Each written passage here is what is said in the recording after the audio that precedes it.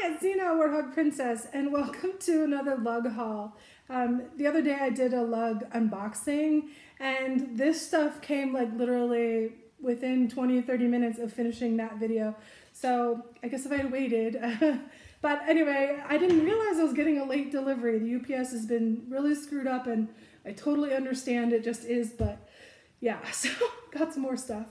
Um, first, I already unboxed and unwrapped everything, which is nice, but have a pen in Bloom Black that came with this order. It's like my uh, fourth one of that, I think, but I love Bloom Black, so that is great. Um, and I love like fun little surprises like that. It's kind of a game now which ones to collect. This item is the Promenade, and this one I got from QVC, and this came actually before the unboxing, but I had it set aside to do with the unboxing and I totally forgot about it. So I alibied it in the remarks, but I thought, well, that's no fun. You don't get to see it. So here it is. We'll take a look at it. This is, like I said, this is the Promenade in Navy Navy. And that's really all I know about that. Um, but inside you have this front pocket, which is a magnetic snap. And it has that plastic on there. Let me take that off. Maybe. Ta-da! Okay. So, plastic snap, but it's, it's a nice roomy pocket. It does have some depth to it there. It is its own space and it has this a little bit of pleat to it. So it's bigger than you would think. It's not a super skinny front pocket, but there's no organization or anything in it. It's just there. But there's your interior pattern. It's a lighter blue with the crosshatch, whatever, and then the little lug written in some of the diamonds like there, and there's another one. Yeah, so, ta-da. That's a pretty, pretty good magnet snap right there. All right, the bottom, since we're looking at it, is a sparkly blue. It's inside the plastic, so it's very smooth. It's not gonna catch on anything, and you're not gonna get glitter all over your bag or anything like that, but it's just a fun twist versus that plain, boring, milky white plastic that's always there. So it's just kind of a nice twist, actually. Just a little pop of bling on your bag. It's, it's fun. Um, it's not why I got this bag. I liked the size and configuration, but that was just another little bonus thing. But I do like that it has feet. I always like the bag that's going to stand. And you can see the size of the base of the bag. It's a pretty good size bag. Um, all right, so that's the front of the bag. You have, of course, your cell phone pocket, which here's my 6S Plus, and it fits nicely within the pocket, but does not fit standing up completely inside. Um, it, it's fine. I would still use it that way because I like that, you know, it's ready to go and right back in. But it does fit sideways. So it's a wider pocket and you can easily put it sideways completely in there. And you can see the phone actually sits about halfway up. So there's quite a bit of space, but there's your magnetic closure. So a little bit different configuration on this pocket. I found that on all of the different bags that have this pocket, they're all a little bit different. Some are just a little deeper or wider. Yeah, it's all fine. I just like that I have a quick access slip. I love that. And it's fleece lined, which is very nice as well. So, all right, so that's the front. Just really, um, you got your snap lift. You've got a zipper behind that. And in here you have eight, yeah, eight card slots built in on the back wall and nothing on the front wall. So again, you have its, its own space behind there. So that's nice, good. I think this will be great for runway envelopes, maybe. Okay. Yeah, the bigger one, it does fit. It does fit. You just kind of got to put your finger around the edge.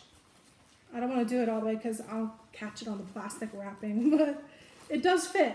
Um, for sure the smaller one will fit, but they're roughly the same height, so anyways, that works there, or you can just put other things in there, which is nice. Obviously, you can also put your phone in these pockets as well. They're just not soft lined. On the sides, you have a cargo pocket on both ends. They're both really good size. They're both elastic, and they both have the little magnet to kind of keep it tucked up against the bag when you're not using it. On the back of the bag, it has a trolley sleeve. I do find that kind of funny on some of these, like a medium-sized purse bag. I think it's lovely because it is great travel um, asset to you know not have to have it over your shoulder if you're not wanting or needing to. Um, but for me, this is way too small for my second carry-on. So um, yeah, but it's nice. It's discreet. You know, kind of just hidden in the back there, and just kind of a free flowing. I do think one thing that would make this type of cargo sleeve or a trolley sleeve better is do like on some of the Vera bags, for example, they have a zipper on the bottom so that you can use that as a pocket when you're not using it as a trolley sleeve. And when you want to use it as a trolley sleeve, you just unzip it across and now you got your blow through. So just a thought. But then again, this isn't a super huge bag this direction and you already do have a zipper pocket back here. So they would kind of, kind of share a little bit of space. Even so, you know, just gives you another slip access pocket. I still would do it. I'd still add that one extra zipper, no big deal. Okay, so let's look at the handles. You have, well, obviously you have a crossbody that is adjustable, removable, and padded. That's nice. Um, yeah, so that's cool. And you can also take the padding off of the straps. You can do that any which way you want. It has two handles to carry you know, over the shoulder. They do have no slip grip all the way around right there. So that's nice. And it matches the fabric color. So it's not like the black that's just going to stand out. It's a little more subtle, but still no slip grip all the way around. And it's a reinforced area. So it's a really good feel when you grab. It's, it's solid. That's really nice. Um, okay, so let's look inside. Inside we have, well, clear window. So look on the back of the bag. You have that clear pocket right there, and it is pretty good size. Um, and that's it for that side. Wait, is it? Yep, that's it for that side. On the opposite side, you have a cargo pocket. It is soft lined, so a great place to, you know, alternate phone or glasses, readers, sunglasses, whatever. Next to that, you have two pen slots, which is great. And then you have the ring with the built-in keychain, or not built-in, the keychain that comes with it. So you get a nice lug keychain that matches the bag. It's navy. It just has that navy rubber lug and then has a keyring on one end and the quick release hook on the other. The bag side is just a loop and so you can put it right there. So there you go. Um, and the, that's it. That's it for the bag. So just a cargo two pin slots, the key ring, and then on the other side you have your clear view window. But like I said, this is a good, good size bag. It's not huge. I would still call this medium actually compared to my other lug bags which are more on the large side, which is great. The top zipper is one of those ones that, you know, it doesn't come all the way to a point. It does give you that extra space. So either laterally, have it zipped, it goes all the way up to the top. You're not losing space, even though it's recessed a little bit. So you get that width of zipper. I hope that makes sense what I'm trying to say there. and you can tuck the end in as well. But I think that's it. That's everything on the bag. So that's the promenade. Promenade, promenade. Yeah. All right. Next item. Well, let's just talk. We got the runway envelopes, the two-piece set. Um, these ones are pearl gray. Again, it's second round because I made so many orders. Um, and the next item, and this is new to me as well. This is all new to me except the runway envelopes and the pen. Uh, but this is the Wings SE in Bloom Black. And this would be um, still like on the smaller end of the medium bag spectrum for me because they definitely have a lot smaller bags. But so this bag, uh, first of all, I love the bloom black. I mean, I do. It's like the purples and teals and pinks and greens and whites. It's just, it looks really nice. I just, I like it a lot. Um, it is a magnetic closure, the hidden magnets, which I really like. I mean, the snaps are fine, but that you know has to find its home. These ones just like auto locate. Um, I just think it's so, it's great. Okay, I do like that. Inside there, you have three clear ID windows. You can put ID cards or pictures or whatever you want. The opening's there. And you got options. Then below that, you have this nice double zipper. And inside there, it's an insulated pocket. So medicine or snacks or like I have these little clear water things. You can put little packets of water in here maybe. Um, but yeah, and I have little ice pack, little baby ones. Just keep something cool. Now I live in Arizona, so this is very important Not even that things need to be super, super cold, but like maybe just keep your chocolate bar from melting. I don't really carry around chocolate. I'm just saying. you got options. But right above that um, pocket, right behind it, is another straight zipper pocket. And this one is um, just a straight pocket. There's no organization inside of it, but it's plenty big. So a lot of things will fit in there. Let's see. I don't know. Yeah. The big envelope won't fit, but the small one will fit very nicely in there if that's something you're interested in. I didn't get out the wallets, but I am pretty sure the tandem fits in there nicely. For sure the tram, the splits will, I'm not sure about the splits XL. I think they would all fit in there if you wanted. And, wait a sec, is this the RFID pocket? I don't know. It it is actually.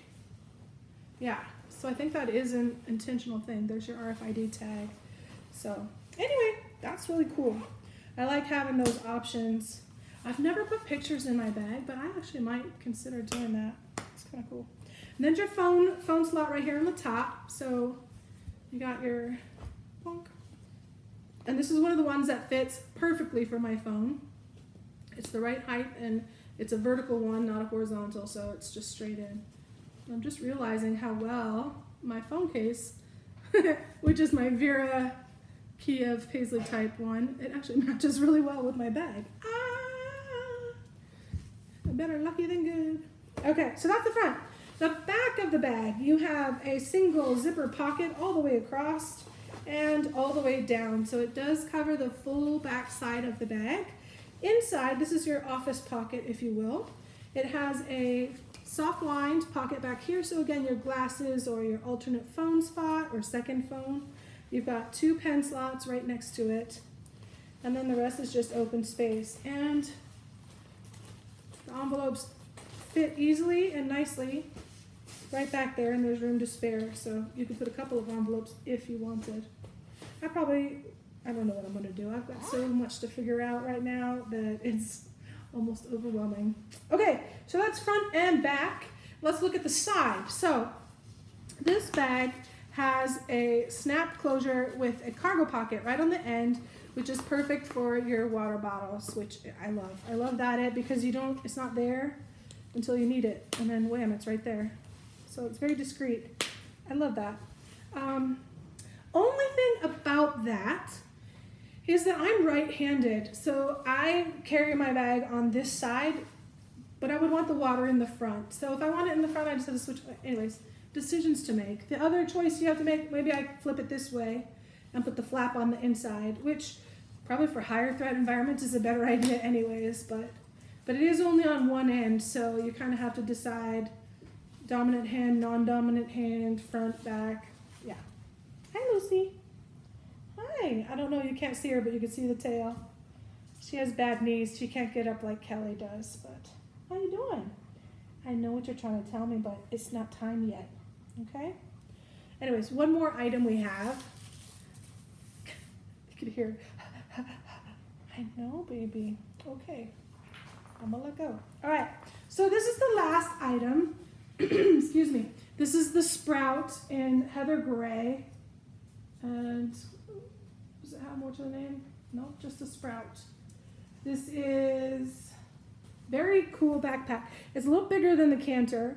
Um, and we'll do, again, comparisons and stuff later. And there are some out there on YouTube already as well. But All right, so let's just go top to bottom. You have a nice big phone pocket on the top and easily fits the phone. You probably, in this one, could fit, again, remember I said that sort of inconsistency, it's a little wider than some of them. You might be able to fit a small tablet inside there.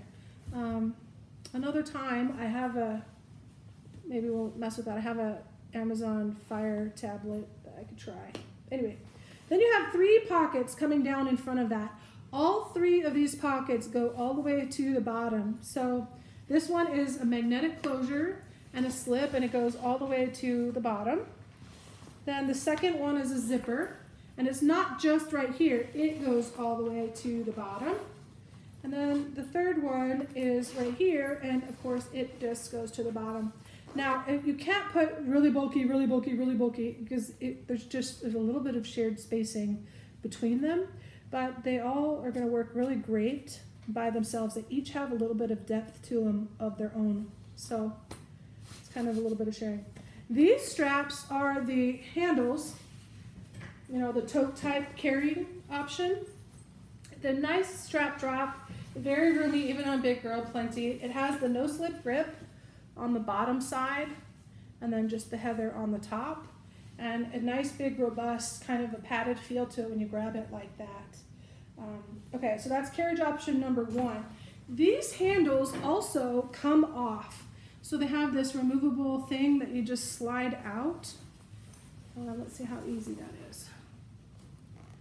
Ooh, it's a little tight, but it comes out pretty easily. So you just unhook that and you can take the straps off completely. So that if you're using it in the backpack mode, for example, or if you just want to carry it around by its top carrying handle, which also is no slip grip, nice feel for it. You just have options. I like having all these multiple carriage options. And then sliding this back on just goes right back in the loop. What I also like about them is when you're not using them, like if I just want to hold it like this, they lay flat against the bag, which is really nice. Okay, so that's the front of the bag. Let's look at the back. Um, again, the same thing, this handle comes off if you want it to. Um, and then you have your backpack straps. These are nice and padded. They do not have no slip grip, but it is a mesh backing, so that's supposed to increase breathability, which is nice. Um, and it's not mesh on the back here. You do have a trolley sleeve with the Velcro dot to hold it in when you're not using it. And there is a pocket here beneath the straps. So if you're in backpack mode, you can use that pocket. It's a nice, good size slip.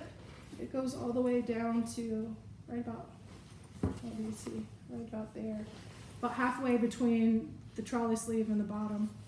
And this is where these pack away. So let's put these away real quick.